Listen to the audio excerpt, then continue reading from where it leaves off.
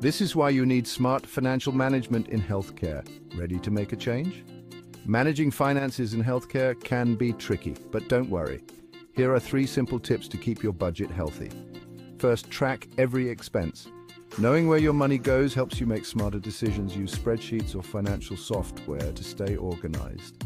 Second, prioritize your spending. Focus on critical areas like patient care and essential supplies. Cut back on non-essentials to save money. Lastly, always plan for the future. Set aside funds for emergencies and future investments. This way, you'll be ready for anything. Remember, efficient financial management means better care for your patients. Start today and see the difference.